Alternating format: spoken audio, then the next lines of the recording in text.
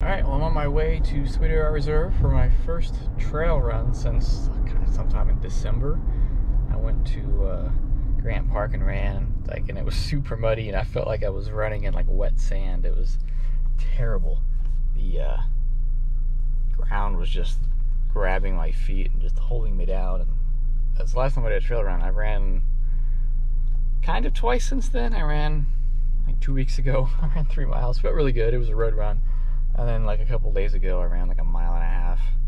Really just to get Obi out and get him some exercise. But uh, it's a really nice day out. I'm gonna wear my Nathan running vest the first time. So we'll see how this goes. Oh man, I'm at 2.7 miles. I am tired. I haven't trained this way in four months, at least. I've probably done one normal run since then. Oh man, I'm at 2.73 at 26 minutes. Oh, my legs hurt. I feel like I can't get enough breath. I'm wearing this Nathan running vest, hydration vest. It's the first time I've worn it. Keeps loosening. I'll have to keep tightening those or else it gets really loose. I don't know if that's normal or not. I feel like it shouldn't happen quite this easily. I don't know if I have some type of setting wrong or what. This works pretty well. Near the end, so I'm gonna finish up strong. So I'm gonna do kind of a, I guess, a running vlog. I already ran, but I know a lot of writers and philosophers and whatnot will exercise. They'll run, they'll lift, they'll do yoga or meditate or whatever. And then they'll write. They'll just write out their thoughts, what they're thinking about their day ahead, the day behind them, days forward, current events. And I like that idea. Just getting it out there, feelings about things. Because I sometimes forget how I feel about things. But the problem is I, I have terrible handwriting. And as a result of having terrible handwriting, uh, what kind of a side effect of it is that it really hurts my hand to write because I have terrible writing form. I was mashing my hand to the paper, so after three or four sentences, my hand hurts. I've, I've tried to work on that in the past, but it just doesn't work super well. So I figured I would just kind of record my thoughts after these workouts. And I'm on vacation this week, so I figured I would try and do a workout vlog like every day this week. I know I've said I want to do videos, you know, every day for a while. I started on my birthday and made like three days. That was a while ago. But uh, I don't see why I can't do it this week. I have the time, I have the resources, and I have a GoPro, I have a nice cell phone.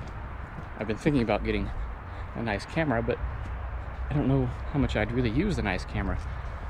So I figured if I can justify buying a nice camera by vlogging almost every day this week, or every day this week, then maybe I'll get a nice camera and I'll continue this. I don't know. It won't be an everyday thing, you know. A lot of the writings of these writers have some profound uh, thoughts about life, but they're far and few between. So it's not like every day I'm gonna have an epiphany about life or current events, but I figured it can't hurt to do this.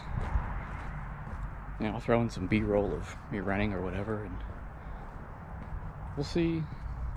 We'll see how it goes.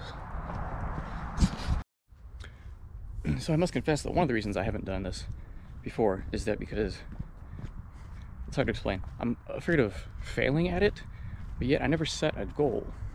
So I don't know what exactly I'm afraid of because I haven't set a goal to fail at. And so I'm just kind of stuck on this continuous loop of wanting to do stuff, not knowing what I'm wanting to do. And it, it, it's really been bothering me lately. I've been trying to look at things from a more stoic perspective in that I know I'm not going to accomplish anything if I don't do it. It's hard to explain. Like, there's an animal over there. Anyways, not sure where I'm going with this. That's another reason I want to start doing this is to get more my thoughts out more efficiently. Because I've spent a lot of time being quiet and listening. And if you ask any of my friends or my coworkers, I'm the quietest guy around, but I'm always, always listening. I always know what's going on around me. I, I don't talk a lot because I don't know exactly how to express a lot of my thoughts in an efficient way that doesn't make me stutter or stumble over my words. Because I do that often, so sometimes I'll have a thought that I want to express. Oh, what is over there? Oh, it's just a squirrel. It's not a lot bigger. But I don't know how to say it, so I just don't. So I'm hoping that maybe this will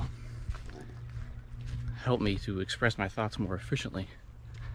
Maybe I'll start talking more. I don't know. Maybe I'll just have deeper thoughts.